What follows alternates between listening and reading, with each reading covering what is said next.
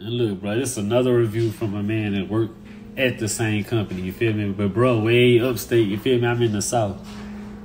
They literally hate a black person that's gonna stand up and speak on something. You know what I'm saying? But what I have learned about these jobs, bro, the people that speak up in there or voice their opinion about what's going on, you're gonna be the first one gone. I kid you not. But the difference about me and them, I don't care. You heard me? I'm certified for real. You heard me?